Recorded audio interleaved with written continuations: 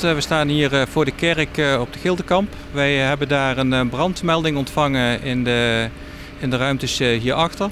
En toen wij hier ter plaatse aankwamen, toen kwam er inderdaad aan alle kanten rook uit de kerk.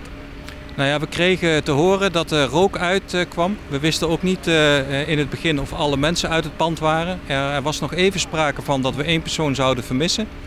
Ja, en dan zit er voor de brandweer niets anders op dan gewoon groot opschalen de brand bestrijden en die ene persoon zoeken.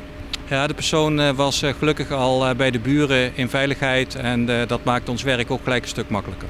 Ja, toen we er van de binnenkant niet heel goed bij konden, hebben we van de buitenkant hebben we de dakpannen verwijderd en een gat erin gemaakt. En zo konden we dus bij de brand om de brand te bestrijden. Oh, we zijn momenteel met vier voertuigen hier. Dus we zijn ongeveer met een ja, kleine 35 brandweermensen zijn we hier actief.